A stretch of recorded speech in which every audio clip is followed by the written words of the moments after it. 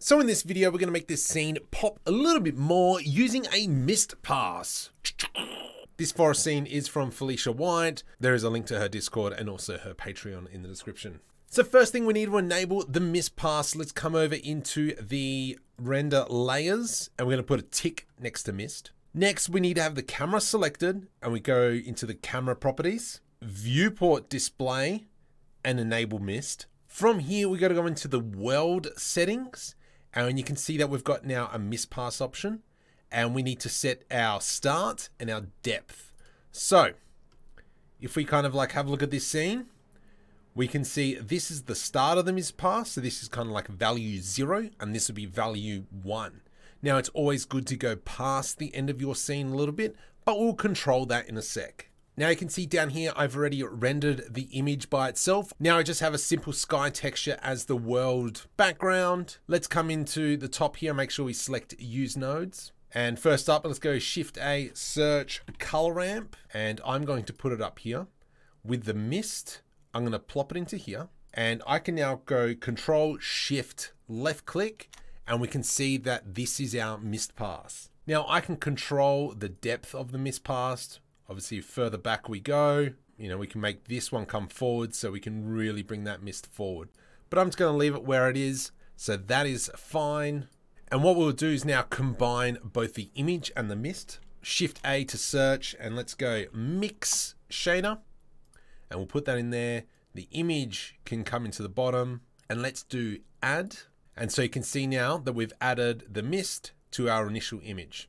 However, you see that we've got this problem where the background is super white. Not really good for us. We still want some of that sky coming in. So from here, Shift A, search, let's type in mix again, and we're gonna plop that one in. Let's control Shift left click on the rendered layers, and I'm going to select our color here, eyedropper, and I want probably this color back here. And now we can go back to Shift left click on the mix, Let's just shift left click on this and we can see that's what it looks like. Mm, not very helpful. So let's change the mix to a color. And now you can see that we've turned that white into this kind of uh, off color here. Obviously, if we wanted to make it blue, we could come up to the top here and find a blue spot, or we could ultimately just change the color a smidgen.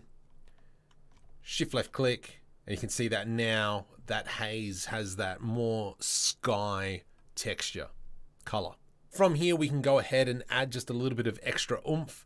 So let's go, so let's go Shift A, search, and add a mix shader, and we'll put this one in here, but this time this is gonna be our multiply.